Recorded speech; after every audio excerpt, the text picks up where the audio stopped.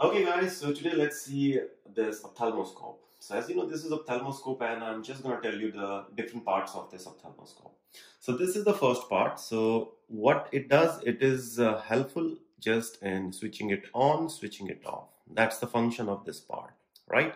Second is this part. So once it is on, so to adjust this number here, to adjust this lens, this dial you have to use. So if you move it, you will be able to see different numbers but always make sure it is on number 0 right? And the third one there is another dial here. This you have to be very careful this one. So when you move this you will be able to get different different settings of this ophthalmoscope. I'll show it to you now.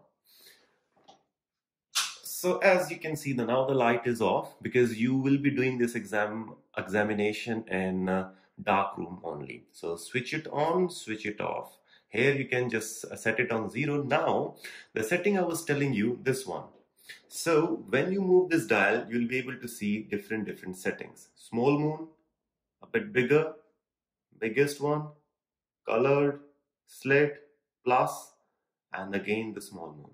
So for the exam purpose, what you can do, you can go with the middle full moon, right? So what you have to do now, let's see how you hold this ophthalmoscope.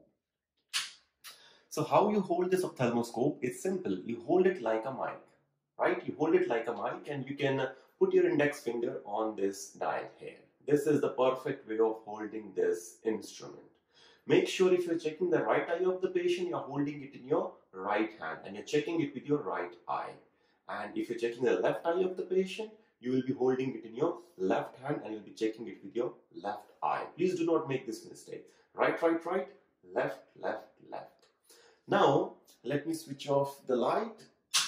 Now, so why I told you to put it on middle full moon? Because before we check the fundus, we need to check the red reflex. So what we do in the red reflex, again we'll be holding it in this way in uh, the right hand like a mic and as I'm checking the reflex in the right eye, so I'll be holding it in right hand, right eye and I'll be roughly at one arm distance from the patient right? And I'll be able to check the red reflex. There will be a red dot that you'll be able to see in the patient. Okay, so after you're done with the red reflex, so what we have to do, we have to check the fundus. So same way as you're checking the red reflex like this, so what we do, we go close to the patient. Right, right, right, left, left, left.